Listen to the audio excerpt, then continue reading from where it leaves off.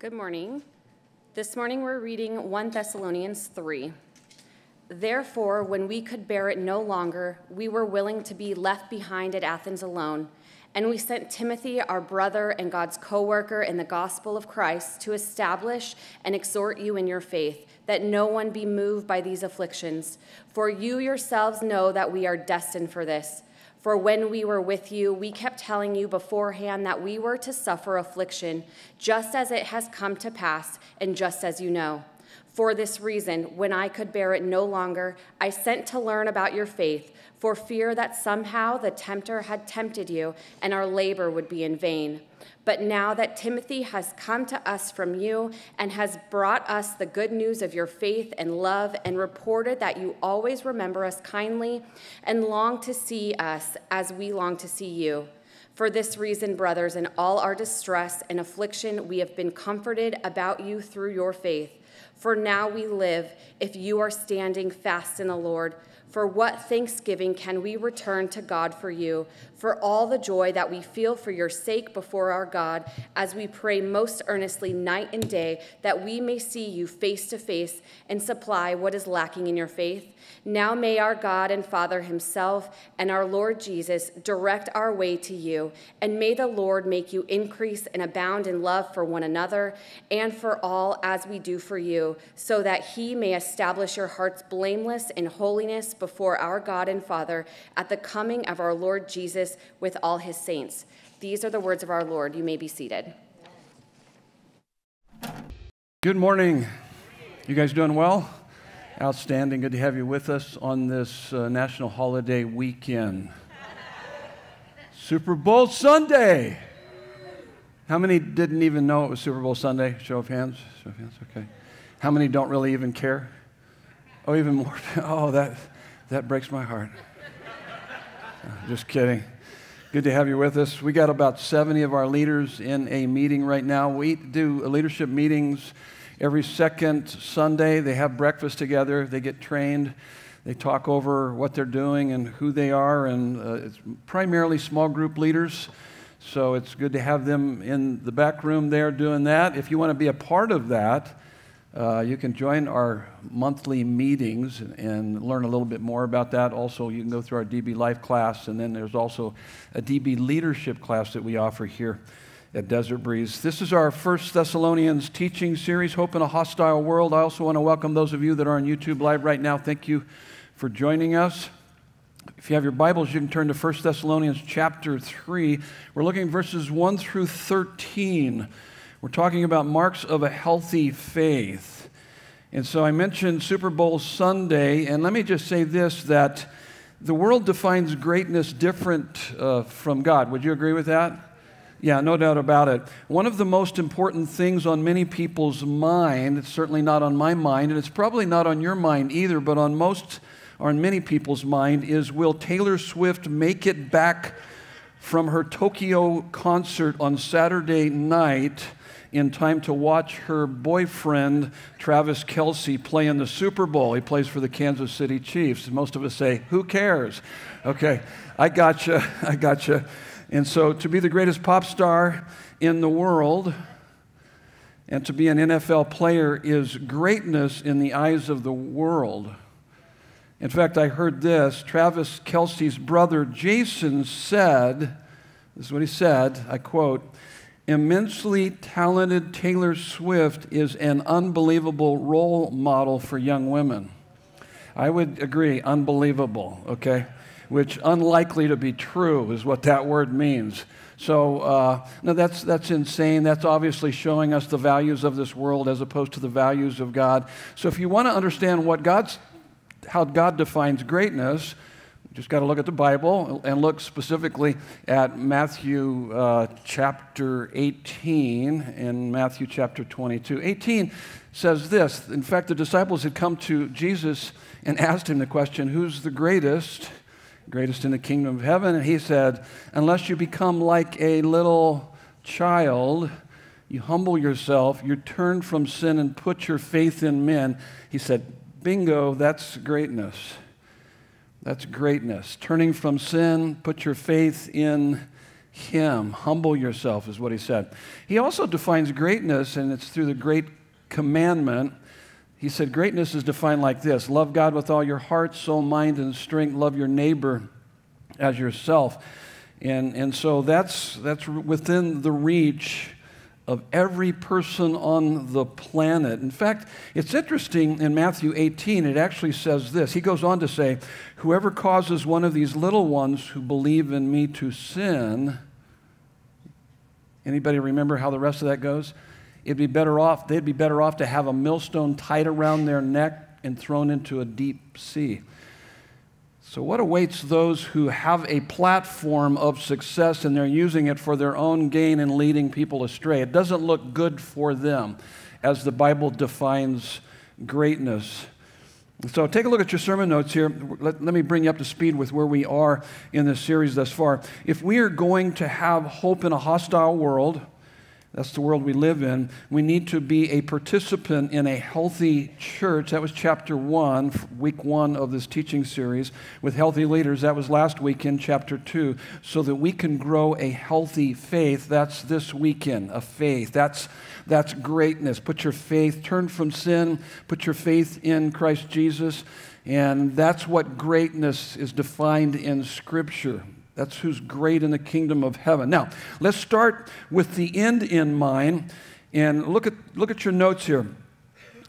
And what I mean by that, the end in mind, this is the very end of our text that we just read. This is where he's headed with his faith. This is the fruit of our faith, of a healthy faith.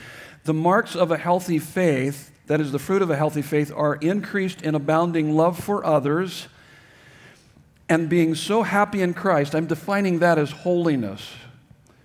So, because he also says not only increased abounding love for others, but established in holiness.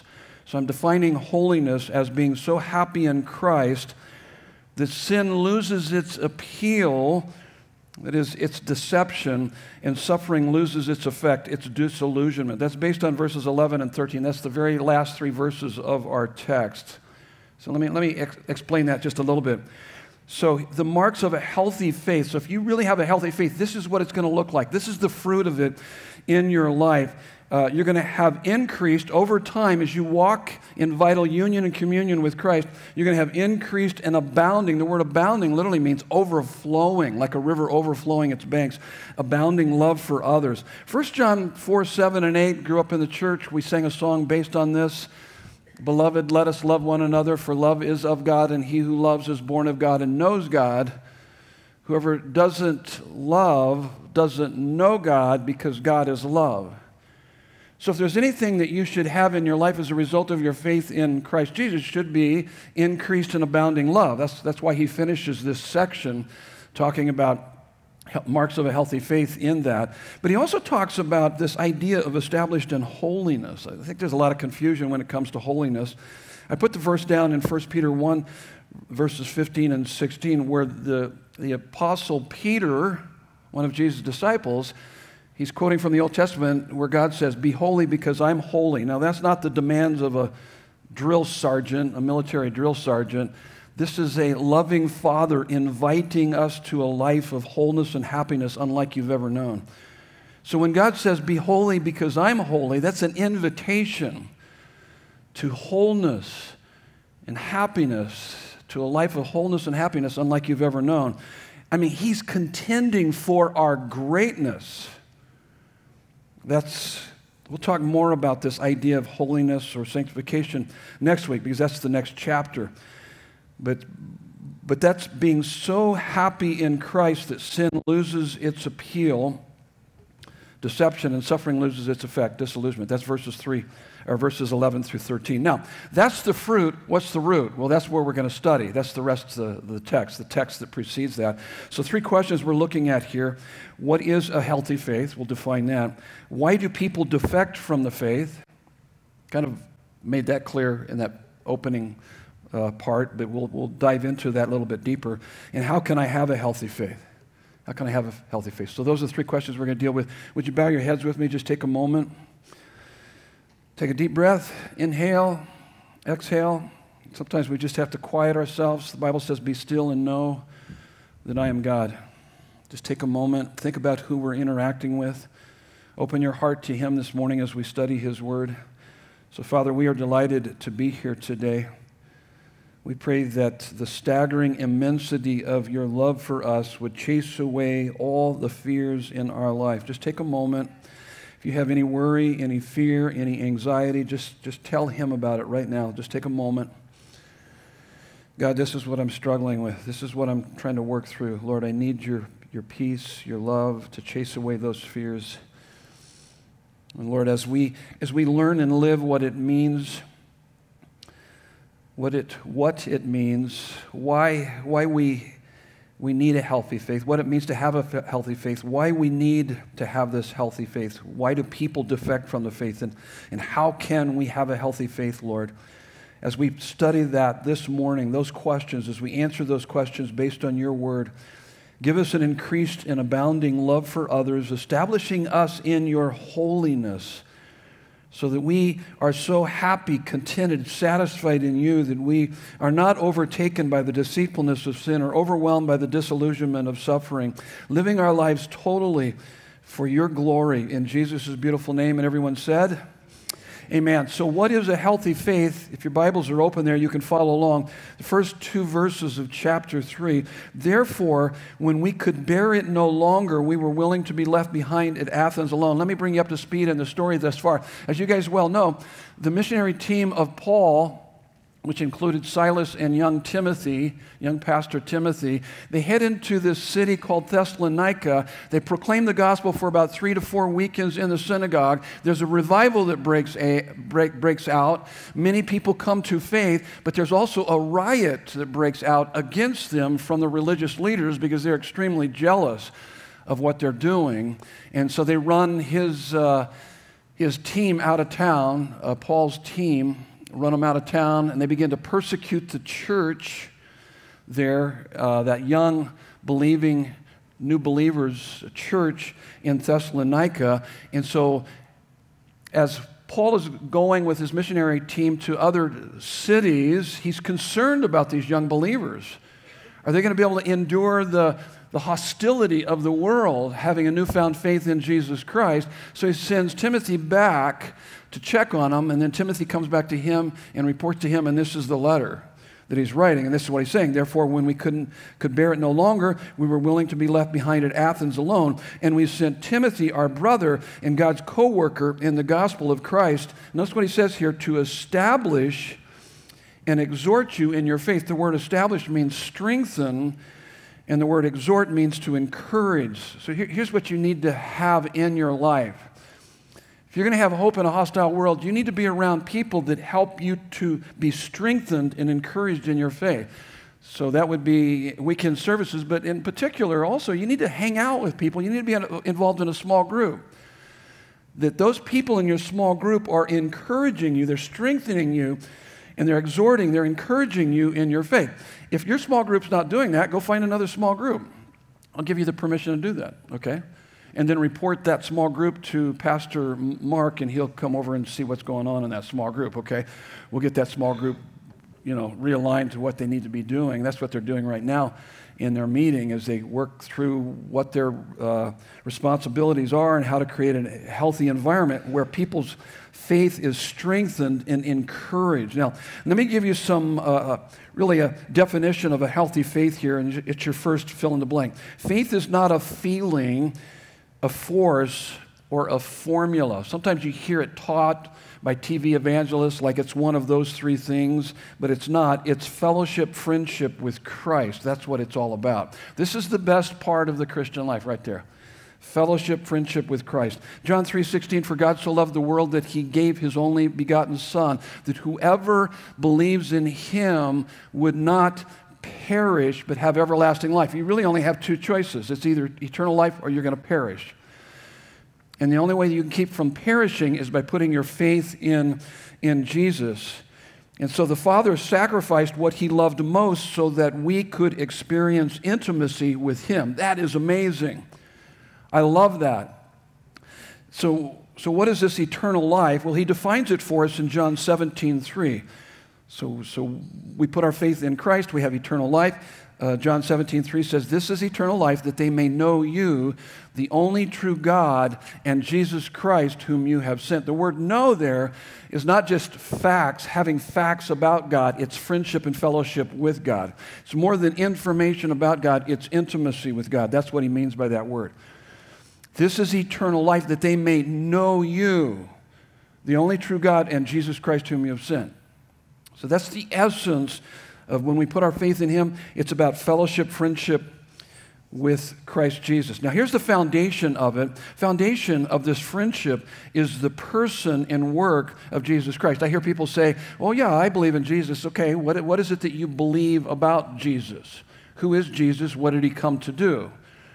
See, that would be what we need to know more than anything. That's the content of our faith.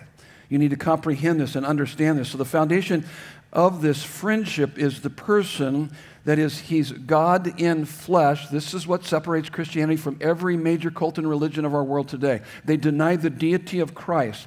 So God came from heaven to earth through Jesus Christ and then his work cross and resurrection of jesus christ so romans 6.23 says for the wages of sin is death we're all guilty of sin we're separated from god we're out of friendship and fellowship with god that's a fact and we're born into that, so we need to be born again.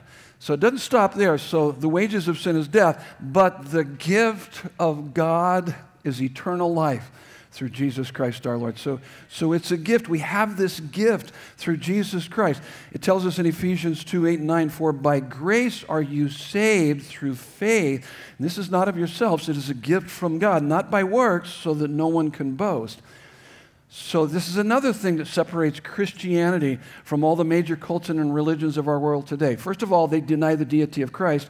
Secondly, all the major cults and religions, it's a works righteousness. You achieve it.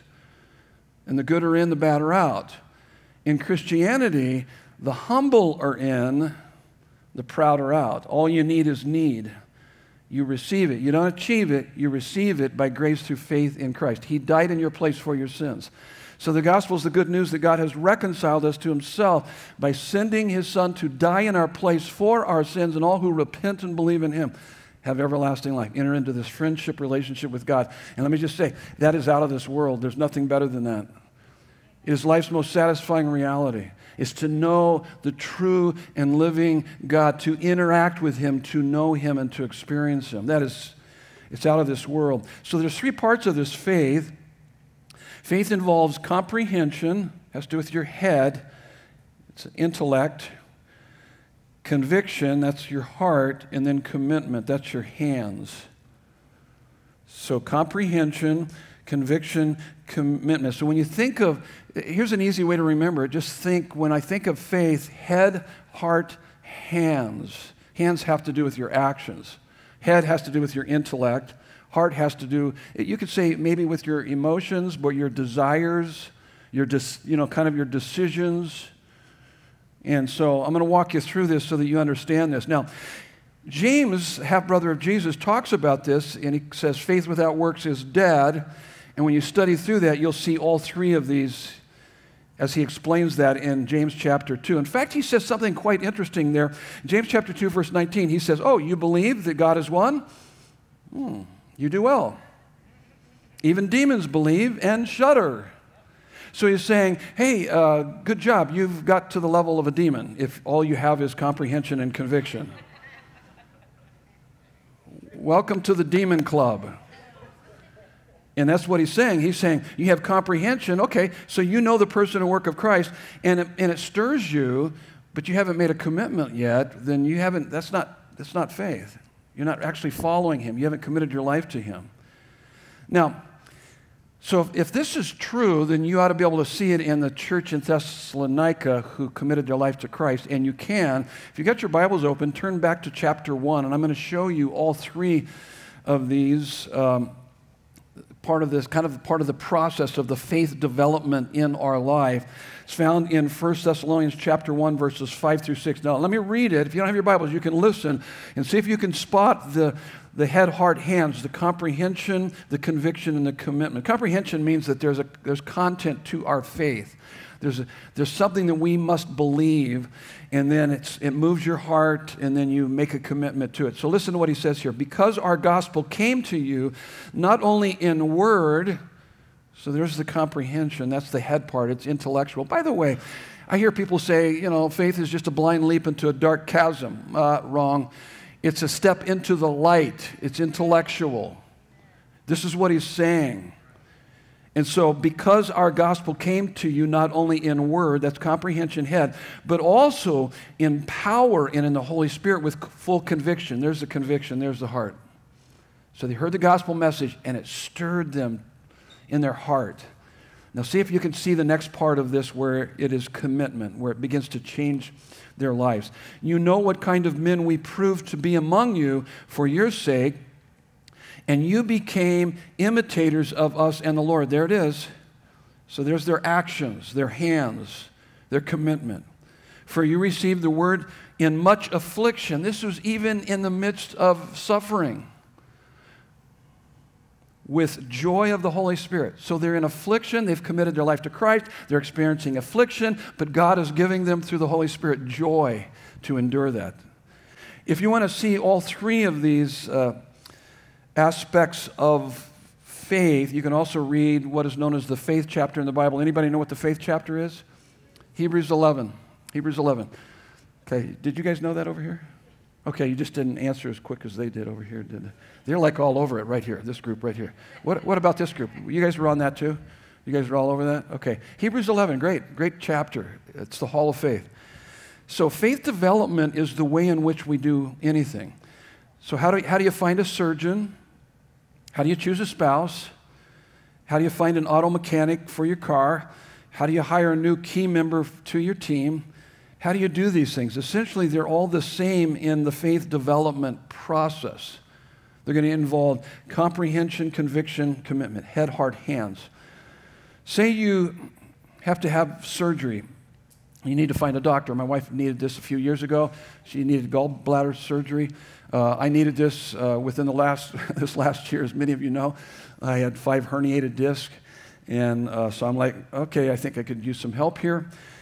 And so the first, first of all, there's a rational process, comprehension, head. You get recommendations uh, from people you trust, and you sift through the evidence.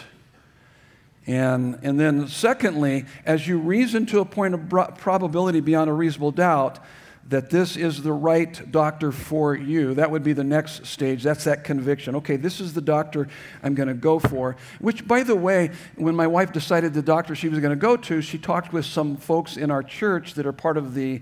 Uh, part of the medical industry, and they, she mentioned to them the doctor she was going to, and they said, Oh, he's got the highest infection rate. And my wife goes, Oh, good, I'm going to go anyway. I don't care what you say. No, she didn't say that. Uh, she didn't say that at all. She goes, Oh, I, got, I better get another doctor. So she went back to the rational part of, Okay, I got to do some more research here. In fact, they recommended a few doctors that were even better for her. So, the second part, you reason to a point of probability beyond a reasonable doubt that this is the right doctor for you. You are convinced that this is your best bet. So, you reason to appoint a point of probability beyond a reasonable doubt that this is the best doctor for you, but it takes commitment to lead to certainty. She would not know until she went under the knife. And, and so that's the third one. You have to make a commitment to have the surgery. That's the commitment, the hands. You make yourself vulnerable. You go under the knife. Faith hasn't completed itself until you make a commitment. And after you've done that, and you've put yourself in the hands of a surgeon or a mechanic or a fiance and actually marry, only after you've done that can you ever be certain if the person is trustworthy. I know it sounds a little crazy, but that's how it works. And then as time goes on, the certainty grows. This is the way in which people make decisions. Everyone would love to be able to reason to certainty. We'd all love to reason to certainty, but it doesn't work that way.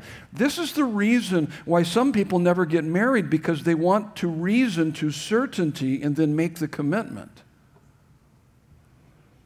They want to be absolutely sure. And uh, so, you, so the three stages. You can reason to a point of probability beyond a reasonable doubt, but then it takes commitment. Only commitment will lead to certainty. You've got to make the commitment. Now, there's a difference between a Christian and a non Christian. The difference between a Christian and a non Christian is not whether you have faith, but where you put your faith. Everyone on the planet is living by faith. Everyone on the planet is betting their life on something or someone. Knowing right from wrong or finding meaning in life is a faith process. It involves this process. Everyone's doing it. And as you, as you well know, if you attend Desert Breeze for any length of time, the Christian faith is historical, evidential, factual.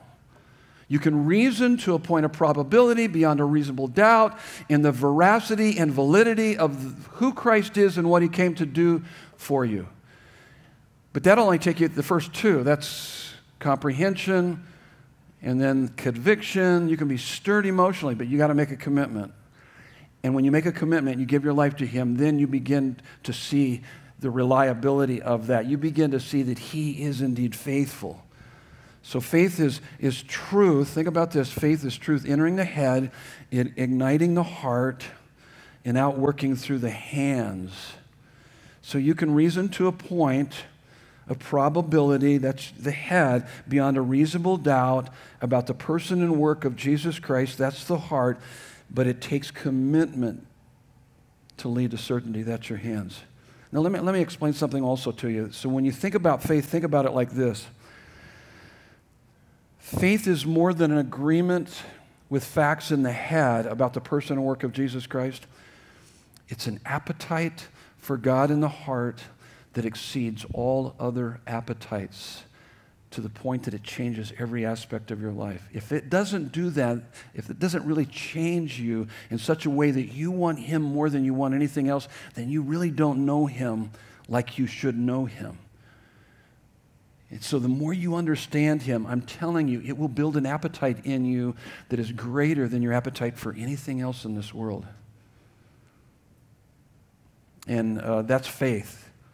So it's more than agreement with facts in the head. It's an appetite for God in the heart that exceeds all appetites. And this is what transforms every aspect of your life. He becomes, you begin to live for His glory. And so you love Him with all your heart, soul, mind, and strength, and then that puts everything else in its appropriate place in your life. This is what creates a lot of problems because we have greater appetite for any number of things more than Christ. And then everything else gets out of order. It's called disordered loves. It creates all kinds of problems in our lives. And so this is what, what faith is all about. Now, faith and worship kind of really go hand in hand in a lot of ways. So the foundation of faith, always keep this in mind, the foundation of faith is thinking. So if you're struggling with a lot of anxiety and anger and depression and despair, and you're looking at the circumstances of our, of our life, and you're looking at our nation, you're looking at all this stuff, and you're overwhelmed by that, it's because you're not thinking out the implications of your faith. So the foundation of faith, or you're not worshiping God. Worship is ascribing ultimate worth and value to God in such a way that it engages and energizes your whole being, your mind, emotions, and will. Comprehension, conviction, commitment. So faith and worship kind of go hand in hand. So I worship God every morning, and so I think out the implications in worship. Uh, which is reasoning. I reason out who Christ is and what he's done for me, what he's doing in my life, what he's planning for my life into the future. And so I, I, think that out. That's why it says Romans, Romans 10 17 says, faith comes by hearing, hearing what? The Word of God. So I, I'm thinking and reflecting on God's holy Word. He's speaking to me, I'm communicating with Him. I'm engaging him. He's energizing me as I'm talking to him and, and walking with him. And so I think out the implications. Faith is a foundation. That found, the foundation of faith is thinking out the implications of who Christ is and what he has done and is doing and will do in my life until it ignites my heart and works its way out into my hands, my actions. And sometimes it's, some days it's harder than others. There's people in my life that I, I, I am having a hard time dealing with. And I'm, i just say, Lord, you're, you're bigger than my problems, or circumstances could be overwhelming. But then I start thinking out the implication wait a minute, you're for me, you're not against me. When I realize who it is that walks through my day with me, woo, game over. Lord, help me to cultivate that intimacy with you. Help me to walk that out. That's worship. That's faith. That's faith. Okay, enough, enough there. Let's talk about why do people defect from the faith. And I've seen a, a number of people defect from the faith in my lifetime growing up in the church. And so we defined for you what is a healthy faith, what, why do people defect from the faith? Number one, disillusioned by, by the pain of suffering. I've seen a lot of people defect because of that. And, and it goes something like this I, have seen people do this. I've, they shake their fist at God and they go, After all I did for you, I went to church, I read my Bible, I dropped money in the box, and, and this is what I get from you.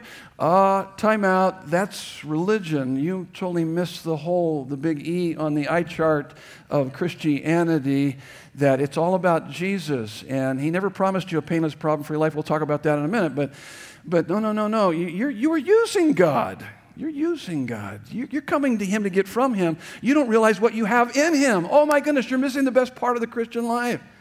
That's religion. That's not a relationship with God. And I've seen people do that. They're disillusioned by the pain of suffering. Look what he says in verses 3 and 4 that no one be moved by these afflictions. So he tells them about Christ. They commit their life to Christ. And then he says, Hey, you're going to be afflicted you're going to get the living daylights beat out of you. Are you still in? And let me just say that no matter what you face, he's still bigger. He's better than any afflictions you'll ever face. And that, that's the point that he's making that no one be moved by these afflictions. For you yourselves know that we are destined for this. Huh? Destined for this? I didn't know that. Yeah, we live in a fallen world. It's broken. Man has rebelled against God. All the sin and suffering that's prevalent in our current world is symptomatic of man's rebellion against God. That's why he's saying we're destined for this because this is what we brought onto ourselves. So you're going to experience some suffering. Oh, by the way, also you need to know that you put your faith in Christ, you got three enemies. You got your own sinful nature, you got the world's values. Oh, and you've got an enemy, the devil. We'll talk about him in a minute. He's coming after you, he's trying to take you down, and he's a liar. He says, For when we were with you, we kept telling you beforehand that we were to suffer affliction. That we were to suffer affliction, just as it has come to pass, and just as you know. This is incredible faith of these people. They're newborn believers, and they're taking a beating. There's affliction, and yet they're standing strong because what they have in Christ is, is strong enough to endure the worst kind of hostility towards them. That is amazing. Now, C.S. Lewis talks about expectations. He says the important role of expectations, and this is what he said. Uh, I'll paraphrase it a bit. Let's just say that I was to take you into a room, and before I took you into this room, I said, This is a honeymoon suite. And you walk into the room and you go, mm, Not quite what I expected. You know, it's not as plush and extravagant as you thought it would be. So, okay, okay, so let me just say I take you into that very same room, but then before I take you into that room, I say this is a jail cell.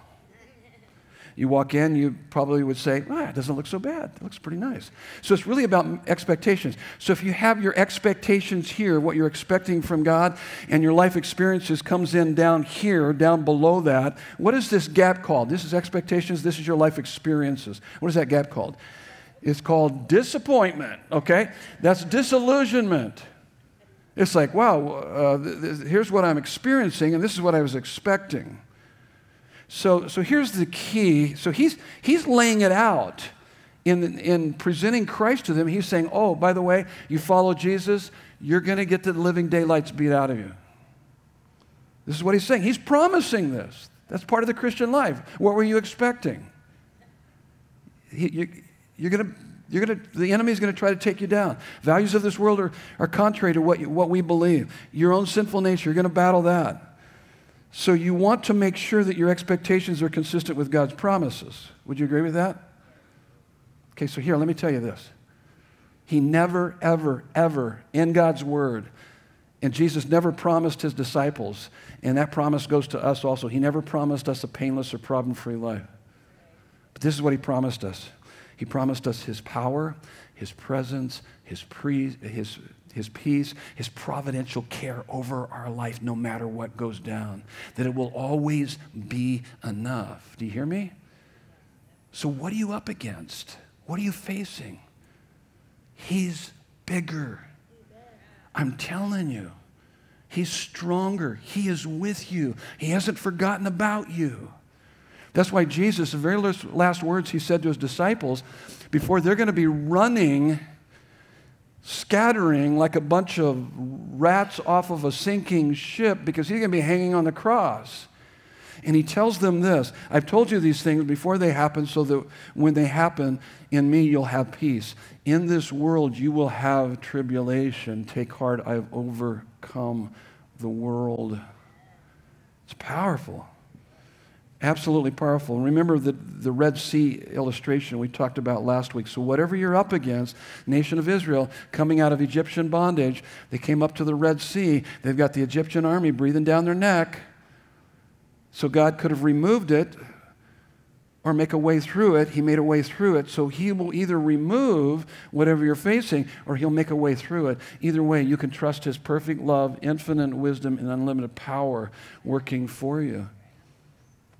That's it. That's what the Bible teaches. Very clear. So we become disillusioned by the pain of suffering. I probably spent way too much time on that because we're going to get to more solution later, but I just want to make sure you understood that. Don't be disillusioned by the pain of suffering, and don't be deceived by the pleasures of sin. Look what verse 5 says. For this reason, when I could bear it no longer, I sent to learn about your faith for fear that somehow the tempter had tempted you and our labor would be in vain. The word tempted means to solicit to sin. Let me, let me say this before we get to the next point.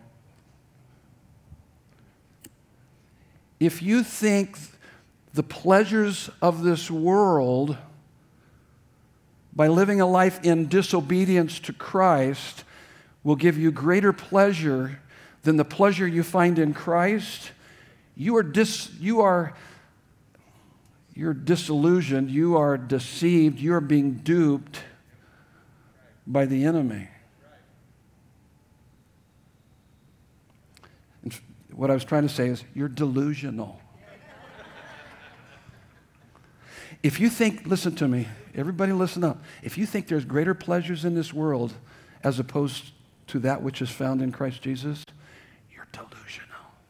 The tempter is working you through the billion dollar industry of consumerism, commercialism, TV, movies, all of that stuff. It is craziness. You're delusional. This is what he's saying here. Now, look at this next part. If Satan can't get you to doubt God's existence, he'll get you to doubt God's goodness. And he does this by getting us to question God's commandments and character. Remember what he said to Adam and Eve in the garden? He said, Did God really say that? So we start questioning his commandments. And so that's where I get that idea that if you think, see, his commandments come to us out of his perfect love and infinite wisdom. He wants us to flourish. And he's saying, This is how I want you to live. You live outside of this, you're not going to have the flourishing that I've, I've planned for your life.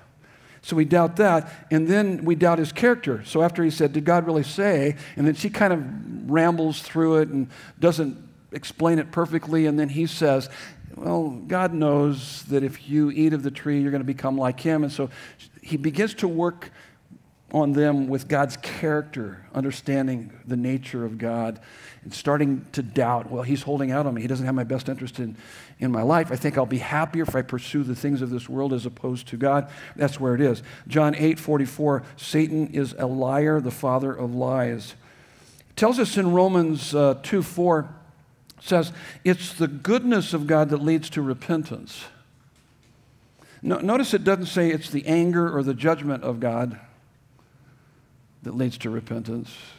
There's, there's some, I think, well meaning brothers and sisters out there that want to talk about all the anger and judgment of God, that that's going to somehow bring people to repentance. Actually, it doesn't. It's, it pushes a lot of people away, but it's the goodness of God. The word goodness here it is an invitation to traitors like me and you to be his close friends. So we're traitors.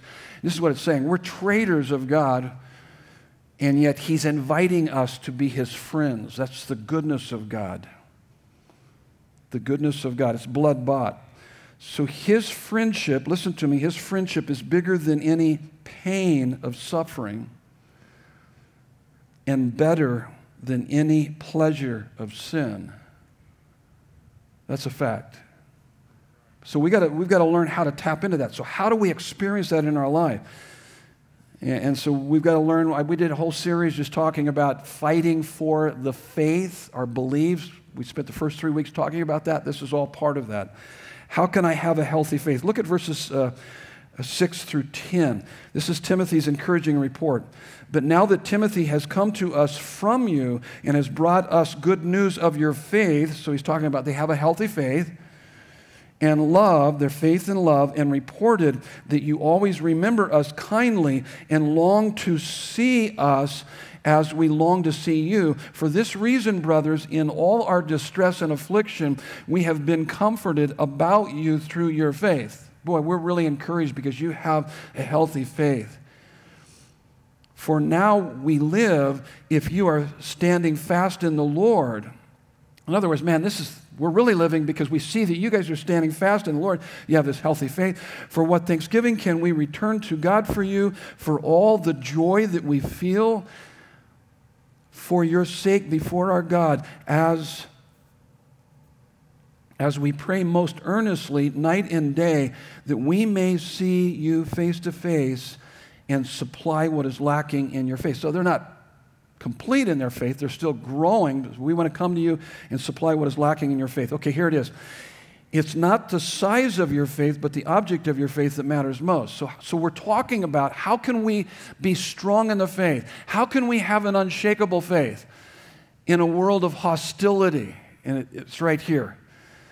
It is not the size of your faith, but the object of your faith that matters most. Matthew 8 26, you guys are probably familiar with the story of Jesus getting in the boat. He falls asleep. They head out towards in the middle of the Sea of Galilee. Storm breaks out. These are tough dudes. I mean, these are tough guys, and they think they're going to die. So they're, they're freaking out, and they go over and wake up Jesus. Jesus, we're going to die. They think they're going to die. They've been out on the lake many times. Some of them are fishermen. They know the severity of the storm. And did you notice how he responds to them? It's found in Matthew 8 26. He says, Why are you afraid, O you of little faith? Yeah, so, so somehow little faith and fear kind of go hand in hand, is what he's saying. So he's just saying, You have, you have little faith. You shouldn't have this fear in your life if you really had the faith that I want you to have. There's another interesting story found in Matthew 17. Jesus and his three disciples come off the Mount of Transfiguration, Peter, James, and John. They come down to the bottom, and, and the disciples are stumbling around trying to cast a demon out of a, out of a little epileptic boy who's seizing. His dad's freaking out and needing, please pray for my son. They're praying for him. They can't cast the demon out. They can't get rid of the demon. They can't heal the young guy. And Jesus comes down and he's like, oh, come on, guys. And he actually says in that context, he says, faith the size of a mustard seed can move mountains. If, if you, any of you would have had just a mustard seed faith, you could have gotten it done, is really what he's saying. in other words, they didn't seem like they had any faith because you guys know what the size of a mustard seed is. It's pretty small. So he's making a point. It's, it's not it's not the size of your faith, it's the object of your faith that matters. Now, Mark talks about this story and adds a, another detail to the story where Jesus says, All things are possible to him who believes. And the father of this son, who uh, has this demon, yells out, maybe you're familiar with this, he says, I believe, help my unbelief. I believe, help my unbelief. So, so let me give you a quick analogy of what I think is happening here. You're hiking, maybe Grand Canyon or up on a mountain peak somewhere. You lose your footing, begin to fall off of a cliff. There's a branch certainly big enough to save you out the side of the cliff. If you have questions, doubts, and fears about the branch's ability to save you, but you reach out and grab it anyway, you will be saved. if you allow your questions, doubts, and fears to keep you from reaching out to the branch, you'll fall to your death. It's not the size of your faith, it's the object of your faith that saves you. So faith is not the absence of questions, doubts, and fears. It's bringing your questions, doubts, and fears to God. It's bringing them to God. It's clinging to Him. That's what that father's doing. I believe, help my unbelief. God, help me, stir up faith within me. I'm desperate. I'm clinging to you. I'm falling off of the cliff. I almost fell right then. And I'm, I'm falling off the stage, and nobody will help me in Desert Breeze. But you can help me. You know, so that's what he's doing. Faith is not a denial of reality. The Bible never denies reality.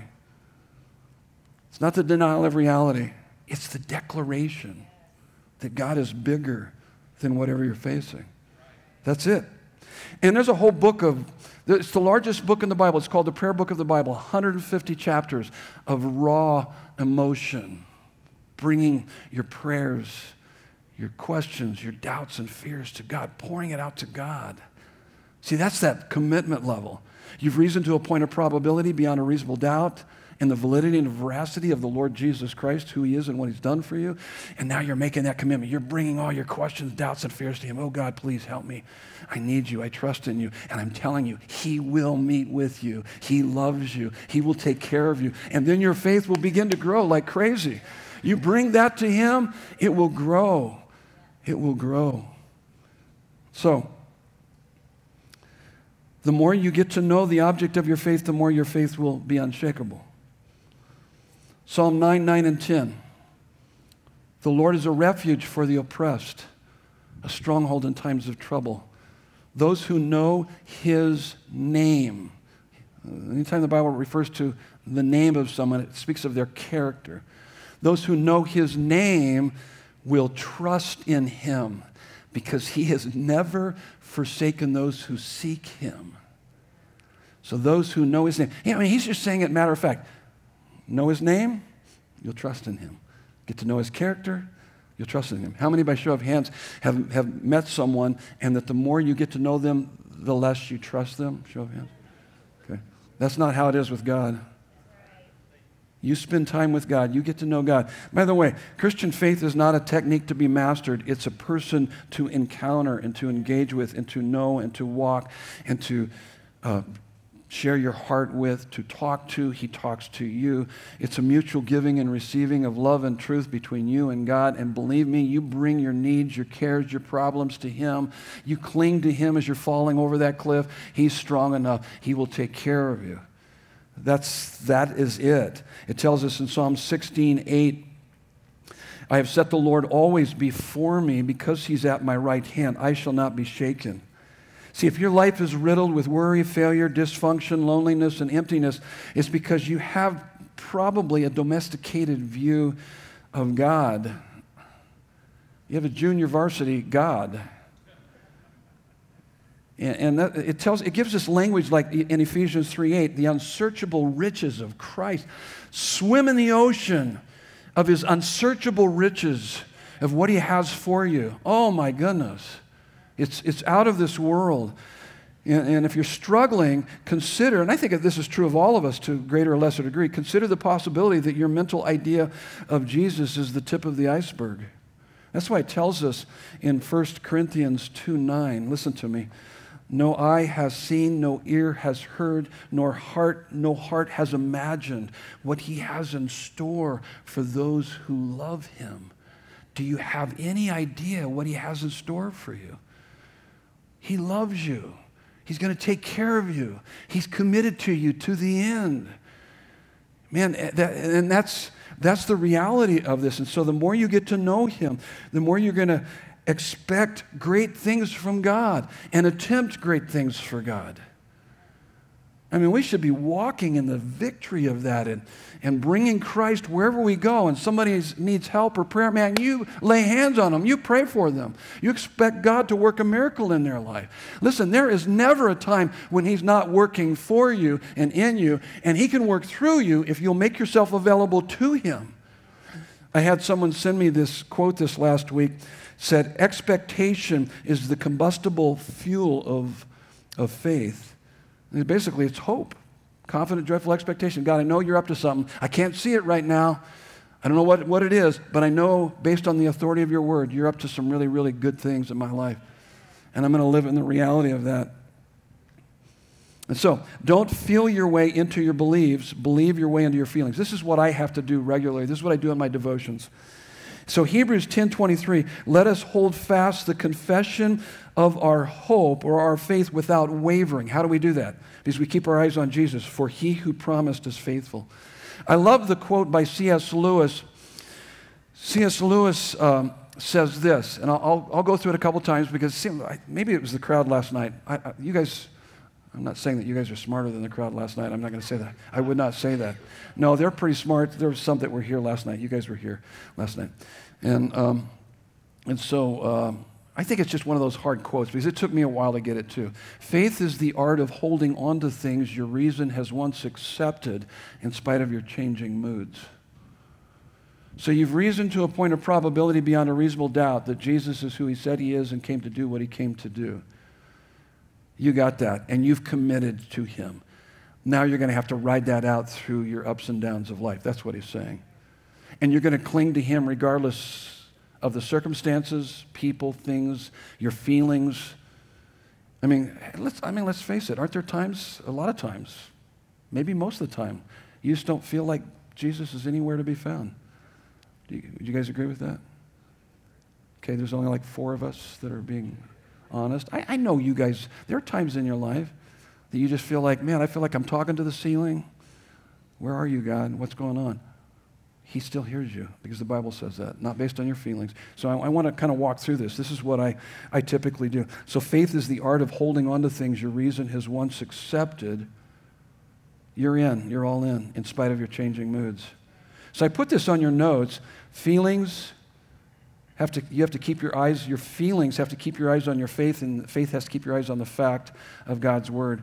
Uh, I, I, came across this a number of years ago and I found it helpful. Let me just see if I can walk you through it. And we're almost finished up here this morning, so this is an important part of this is what I do. Feelings are fickle and dangerously misleading, and Scripture never points us to feelings for assurance. Our assurance ought to be based on the fact of Christ's finished work. Our feelings of assurance will come from maintaining faith in that finished work. So that's where we keep our eyes. In other words, feelings come from assurance, not assurance from feelings. So here's the analogy Imagine three men walking in line along the top of a narrow city wall. The first in the line is named fact. So fact is here. This would be God's word. And the, the second would be faith. Faith would be directly behind him, faith. And then the third would be feeling. Feeling would behind would be behind the faith. You guys catching that? And so, because the wall is narrow, they need to pay careful attention to where they step. As long as feelings, feelings at the end of the, the line, as long as feelings' eyes are on faith and faith's eyes are on fact, all do well. But the moment that faith, faith is in the middle of the two, faith turns around to check on feelings, both faith and feeling will fall off the wall. Let me say it again. Don't feel your way into your beliefs, believe your way into your feelings. Think out the implications of your faith. Worship Him. As you worship Him, you're ascribing ultimate worth and value to God in such a way that it engages and energizes your whole being, your mind, emotion, will. This is what transforms us. And so it's, it, this is what, when overwhelming negative thoughts and feelings are triggered by people or things or circumstances, this is what I do. I must follow the trigger back to the root. Somewhere in that root is a lie and confront it with the truth of God's word. What I'm talking about here is known as emotional intelligence or mindfulness. You've got to be aware of why am I so ticked off about that guy that just ran me off the road over there? Uh, you know, wh- whatever it might be. Or where that person said something that just triggered something within me. So you start thinking about what is, what's triggering that? And there's probably a lie behind that. John 8 31 and 32 says, You shall know the truth, and the truth will set you free. Abide in my word, and then you are really my disciples, and you will know the truth, and the truth will set you free. The opposite of that is also true. Lies will bring bondage to your life. You'll be mired in negative thoughts and emotions. But the truth brings freedom. Wait a minute, God's for me. He's not against me. He's going to see me through this. That's what we do. And so I have a whole arsenal of verses when, I, when I'm spending time with God. And that, part of why I say at the very beginning of our prayer, I just take a deep breath, slow down, be a little more mindful, think about what's going on in your heart. Allow God to speak to your heart this morning. So I've got these verses that when, I, when I'm in touch with my, I feel guilt over, you know, I have past guilt and shame, Romans 8 1. There's therefore now no condemnation for those that are in Christ Jesus. When I'm feeling lonely, Hebrews 13 5 through 6, he said he would never leave me or forsake me. When I'm feeling anxious, Philippians 4 6 through 8. When I'm struggling to make ends meet, Philippians 4 19. When I've got bitterness, Hebrews 12, uh, 12 15. Now, since it is Super Bowl Sunday, let me give you one last illustration here. Okay. Uh, of this faith. I think this is a really great example of faith. How many know who Brock Purdy is? Brock Purdy. You guys know who he is? He's, he's, he's the quarterback for uh, 49ers. 49ers. And this is a quote from his um, coach, who's probably not a believer. I'm not his judge, but I don't think he is, just I can tell. But anyway, you read his lips on the sideline. Okay. okay. I didn't have to say all that. And, and, and this is recorded. Welcome to Desert Breeze. Okay. Uh, this is what he said about Brock Purdy. This is what I love about Brock. By the way, uh, this is his response, Kyle Shanahan on the criticism Brock Purdy receives from the media. He's just getting the living daylights beat out of him by the media, a lot of very negative things. And so this is what Kyle Shanahan said. This is what I love about Brock. Last pick in the draft two years ago, and they called that, they called him Mr. Irrelevant. Like unlikely to ever play the game, and he's just back up and all of this. Well, he takes us to the conference championship game twice and the Super Bowl in two years getting talked about for MVP. And the dude, he isn't, he doesn't have to work at not listening to it, that, that is the media, or trying to stay humble, or trying to not get caught up in how life is changing. You know why? He doesn't care. He really has a true foundation and knows who he is and who he wants to be. That is rare for any human he's a special player. Anybody know why? I saw an interview this last week and they were going, Why are you not stressed out? Are you stressed out about going in and playing for the Super Bowl this weekend? And this is what he said My identity is not football. My identity is not found in football. It's found where? In Jesus Christ. That's faith. That's faith. And so if you're not rooting for Brock Purdy for the Super Bowl game today, you're probably not a Christian. Okay. Okay, I, am just kidding. Okay. You can root for whoever you want to root for. Well, thank you very much, Pastor Ray, for giving us permission to do that. Okay, so faith grows through spiritual disciplines, Holy Spirit, yep, and trials and temptations. It's in trials and temptations. So spiritual disciplines are what you do daily Bible study, prayer, hang out local church family, get plugged into a small group, hanging out with other Christians, and then you got to be in touch with the Holy Spirit. You got to have the Holy Spirit inside of you. And as you commit your life to Him, be sensitive to His voice and, and all of that. Next weekend, we're going to talk about live a life pleasing to God. 1 Thessalonians chapter 4, you can read ahead. I'm going to be talking about sex, work, and death. There we go. I knew some of you would get excited about that. So uh, I'll be up front at the end of the service along with any available elders and leaders. If you're new, we'd love to meet you. If you need prayer, we'd love to pray with you. If you want to commit your life to Jesus, maybe for the first time you've never done that before, or recommit your life to Jesus, love to pray with you this morning. Uh, if you have any questions, we'd love to answer those questions for you. Would you stand with me? I'm going to end where we started. This is kind of the fruit. We talked about the root. Here's the fruit. And this is a doxology, a prayer from uh, Paul to the people there, but it's a prayer that also applies to us. And so as I send you out, here's the charge this morning. You can see it. In fact, it would be up on the screen right now. You can put it up on the screen. There it is. I got it. Now, now may our God and Father Himself and our Lord Jesus make you increase and abound in love for one another and for all, as I, we, do for you, so that He may establish your hearts blameless in holiness before our God and Father at the coming of our Lord Jesus with all of his saints in Jesus' beautiful name. And everyone said, Amen. Amen. Love you guys.